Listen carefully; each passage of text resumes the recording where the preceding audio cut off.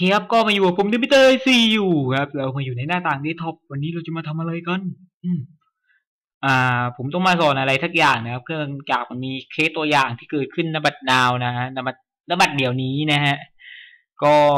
ผมมอบหมายงานให้น้องคนหนึ่งทำนะครับผมก็ไม่ว่าอะไรหรอกก็น้องเขาทำมาดี คือผ่านไปเยอะเลยทีเดียวครับ ก็ที่ไม่ผ่านก็มี เลยมาเกิดเคสตัวอย่างที่ให้ผมอัดคลิปเนี้ยมันดีอย่างนี้คือผมจะได้สอนคนอื่นด้วยที่ไม่รู้อะ ก็ผมก็ไม่ได้เก่งอะไรมากนะแต่ผมก็พอจะสอนได้และเข้าใจในบางสิ่งนะและเครื่องมือบางตัว ก็วันนี้เราจะมาสอนโปรแกรม Illustrator นะหรือว่า AI นะฮะอยู่ในตระกูล Adobe ซึ่งผมได้สอนเคสตัวอย่างเคสไปหนึ่งเคสนะคือ part หนึ่ง part นะคือยังไงวะอ่อตอนที่ผม draft รูปโมโมจังนะฮะคือยังไงก็ผมยัง draft ไม่เสร็จหรอก ไม่ได้ทำคลิป part สองเลย ก็มันมีเคสตัวอย่างมาซะก่อนนะ ในการ mirror สองด้านให้มันเท่ากัน ก็ไหนๆแล้ว ผมก็จะมาทำให้ดูกันเลยนะว่ามันทำยังไง มันมีวิธีสองวิธีด้วยกันนะ ในการทำ mirror โดยมีเคสตัวอย่างที่จะมีหลายอันเลยทีเดียวนะในนี้ทั้งหมดทั้งมวลเนี่ยเอาว่าผมเอารูปหัวใจก็แล้วกัน คือ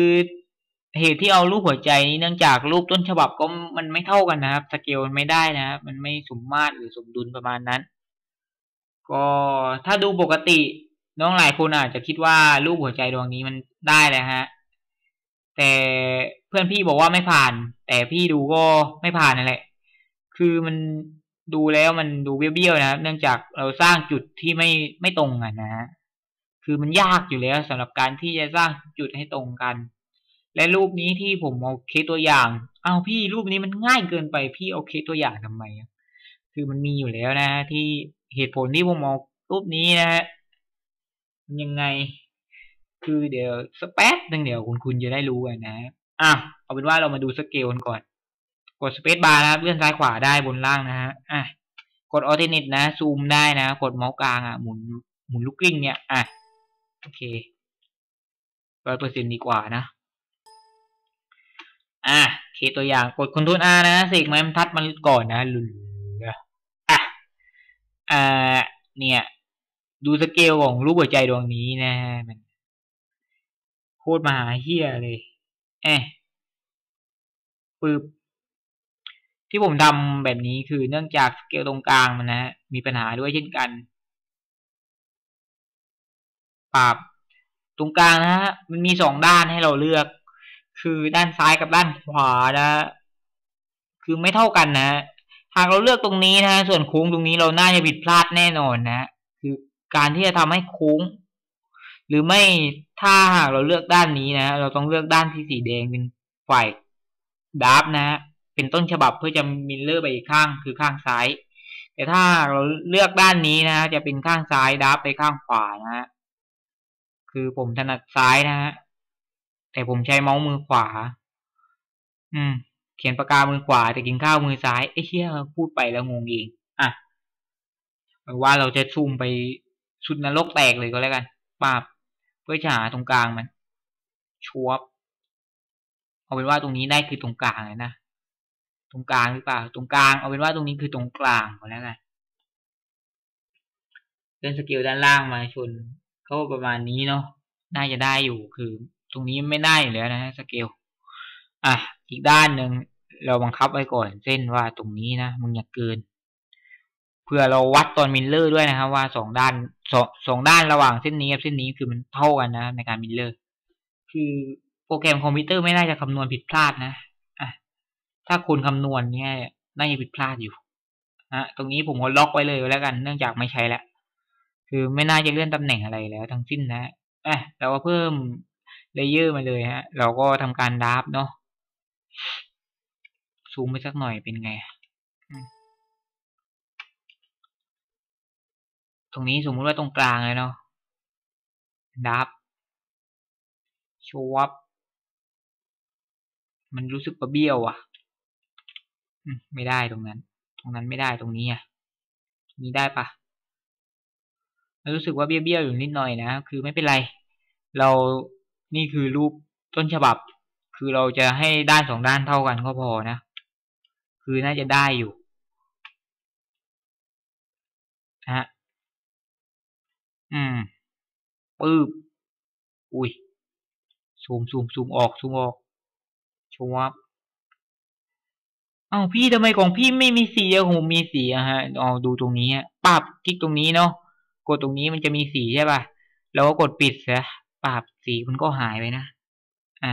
อุ้ย กดผิด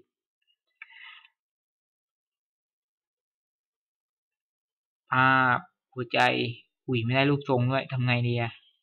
ได้หรือเปล่ารูปทรงได้ ได้อยู่นะ ได้อยู่ มันจะเกินเกินเหลี่ยมเหลื่อมล้ำๆมันเล็กน้อยนะฮะ คือไม่เป็นไร แล้วกดปึ๊บตรงนี้ฮะ มันก็ได้บรรจบครบสลึงพึงบรรจบจนครบบาท แล้วก็กด เลื่อนลงมาด้านล่างหน่อยฮะ คือรู้สึกว่ามันเหลื่อมล้ำไปเกินไปนะตรงนี้อะเราก็ได้รูปหัวใจแล้วเนาะกดไอปึ๊บดูดสีอะปึ๊บฮะ อืม เราได้หัวใจมาหนึ่งหนึ่งซีกนะฮะมันช่างตรงกันข้ามกับหัวใจที่ลำเอียงด้านหลังเหลือเกินโอเค จากนั้นเราก็มาสร้างมันเกิดเคสตัวอย่างกันเลยก็แล้วกันนะ คนว่าเราก็ปี้อันนี้ไว้ก่อนนะ อีกอันหนึ่งแล้วก็เราก็ปิดไว้ เราก็มามาเลงกับอันนี้ฮะมันมาถึงจุดสำคัญของเนื้อหาของคลิปนี้แล้วเนาะคือการมิลเลอร์ไปอีกด้านหนึ่งกดรูปดับก่อนนะฮะ กด Object Transform แล้วก็ Refill ใช่เปล่าว่าอ่านภาษาอังกฤษผมไม่ค่อยคล่องด้วย แต่ผมพอจะรู้ว่ามันใช้ทำอะไร ฮะ ตรงนี้คือมุมกลับด้านนะ คือเป้าหมายที่เราจะทำคือมุมนี้ อันนี้คือสลับด้านบนด้านล่างมีพิวไว้ดูหรือเปล่า มีมีมีปึ๊บฮะ อะ ดูมีตัวอย่างให้ดูปึ๊บอะเห็นหรือยัง มีตัวอย่างให้ดู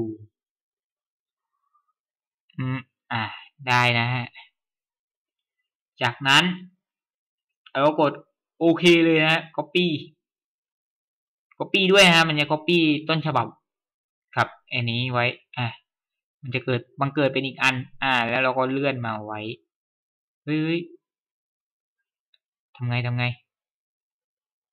ชัว center ฮะ center ดู center อ้าว center หาย center หาย ชิบหายหายไปแล้ว นี่ยังอยู่นะ center ตรงนี้คือตรงกลางอะคือไม่รู้แหละยังไงก็ตาม ตรงนี้คือตรงกลางแน่ๆคือลากจุด คือจุดตรงกลางของหัวใจตรงนี้นะ คือจุดเขียวด้านซ้ายนะจุดตรงกลางด้านซ้ายกับตรงกับด้านขวาคือตรงกลางแน่ๆปับนะจากนั้นเราก็ได้หัวใจที่เท่ากันนะเราไม่ต้องสนใจด้านหลังแม่ง ปิดแม่งเลยฮะคือหัวใจดวงนี้มันเท่ากันแน่ๆฮะยังไงผมก็ ให้มันเท่ากันนะ คือมันต้องเท่ากันครับ คือเหลื่อมมานิดเหลื่อมมานิดนึงก็เท่ากันเป๊ะๆครับ คือการ mirror สำหรับวิธีแรกเราก็สิ้นสุดจบไปแล้วเนาะ เอาเป็นว่าเราไม่สนใจพื้นหลังเลยเนาะแล้วก็เราก็ล็อกไว้ ตรงนี้เราก็ปิดไปเลย อะเรามาเคสตัวอย่างเคสที่สองฮะอะจากรูปที่เราก๊อปไว้นี่แหละเคสที่สองเรามีวิธีหนึ่งฮะวิธีที่จะทำคือ transform อ้าวคลิกที่รูปหัวใจก่อนนะ transform แล้วก็ transform eachใช่หรือเปล่าอ่านยังไงวะเออเอาเป็นว่าออตินิชิป alternate shape shift control D นะกดปึ๊บมันก็มาแววมาแล้วเราก็พี่วิวดูดีกว่าเฮ้ยทำไมไม่ได้วะพี่วิวแกน x แกน y แกน y นี่คือจากด้านบนลงด้านล่างนะหากเราเรียนเรื่องคราฟมาแล้วนะฮะสำหรับน้องๆที่เรียนเรื่องคราฟมาแล้วสำหรับผู้ใหญ่ x y น่าจะรู้จักกันอยู่เนาะ เกณฑ์ y มันสลับบนล่างเนาะปึ๊บโอเค เห็นรูปเลยปึ๊บอ่าโอเคแม่งคลิกสองอันได้เรื่องเลยฮะปึ๊บอะซ้ายขวาอะจากนั้นเราก็กดที่ copy ด้วยฮะคือมันทำให้ดูแล้วนะซ้ายขวายังไง copy ปึ๊บนะได้มาแล้วเฮ้ยได้มาแล้วอีกอันหนึ่งเฮ้ยเดี๋ยวเดี๋ยวเรากดกลับก่อน ผมลืมตั้งอะไรสักอย่าง กดซ้ายขวา เดี๋ยว อืม เอ้ย ไม่ใช่อันนี้ อะพรีวิวให้ดูเลย จากนั้นเราก็กด เลื่อนได้นะฮะ มันเลื่อนได้ เดี๋ยว ตรงไหนวะ นี่ไง เราสามารถเลื่อนรูปนี้ได้หรือเปล่าไม่ได้วะโอเค เราสามารถตั้งค่าตรงนี้ได้นะว่าเท่าไหร่หกสิบได้ปะอุ้ย มันไม่เลื่อนให้วะโอเค ไม่เลื่อนให้ไม่เป็นไรครับ cancel ไปเลย cancel โอเค แสดงว่าวิธีเดิมดีแหละ คือวิธีเลื่อนปกติก็ได้นะฮะ อะ อย่างนี้เลยกด copy ปึ๊บมันก็ได้สองข้างเหมือนกันเนาะ center ก็ยังอยู่นะ center center เส้น center อยู่ไหนแล้ว อะ อยู่นี่ ปรับเหมือนกันเป๊ะ แต่ถ้าปริมาณน้อยๆนะฮะ คือระยะความห่างน้อยๆ เราสามารถเลื่อนกับเส้นในนั้นได้ฮะเลื่อนเส้นในนั้นอะอะไรวะ ภาษาอังกฤษ เออผมว่าช่างมันเถอะครับ คือ ผมก็ได้บอกไปแล้วนะว่าตรงไหนว่ามันเลื่อนได้ซ้ายขวา อะก็นี้ฮะ เคสตัวอย่างที่สองมันก็ได้หัวใจที่เท่ากันเหมือนกันนะฮะ ก็ แน่นอนนะสองดวงนี้เท่ากันเป๊ะอะมั้งมีการขยับเล็กน้อยหรือเปล่าไม่อะโอเคเราได้หัวใจที่เสร็จสิ้นแล้วนะสองดวงนะอะอันนี้เบี้ยวลบออกเลยครับลบออกป้าบจากนั้นเราก็ปิดอันนี้ซะปิดเฮ้ยอันนี้อย่าปิด ปิดสีไว้ อ้าวทำไมวะ ปิดตา โอเค อ้าว กูปิดสีแล้ทำไมมีสีวะเฮ้ยปิดตาปรับอ้าว ปิดสี ไม่ปิดเลย เออ โอเค เราก็จิ้มก่อนนะปรับมันมันยังไม่เสร็จสิ้น ผมต้องทำให้เสร็จสิ้น เฮ้ยเฮ้ยเฮ้ยทำไมมันจิ้มไม่ได้อะ อ๋อ กูไม่ได้เปิดตานี่ว่ะอะไรของกูเนี่ย รู้สึกสับสนกับตัวเองเหลือเกินนะ ด้านนี้ก็ปิดด้วย นี่ปิดหมดแล้ว จิ้มชึบแดงเลย เฮ้ย อีกอันอยู่ไหนพี่ อีกอันอยู่ไหนพี่ อยู่นี่น้องชึบชึบอ้าวหาย มันหายไปไหนวะใจเย็นๆกลับมาแล้ว เราลืมคลิกมันนะจากนั้นเราก็จิ้มปึ๊บอ่าได้แล้วหัวใจที่เท่ากันสีแดงนะโอเคล็อกไว้งานนี้คืองานที่เสร็จสมบูรณ์แล้วนะโดยแก้โดยผมนี่เองเนี่ยเดี๋ยว Mister ICU ครับ ก็สำหรับคลิปนี้เราก็มาสอนกันเพียงแค่เท่านี้นะฮะสำหรับมีเคสตัวอย่างอื่นเดี๋ยวผมจะมาสอนกันอีกทีก็แล้วกันสำหรับโปรแกรม Illustrator นะวันนี้ก็ลาไปก่อนผม Mister ICU ครับบ๊ายบาย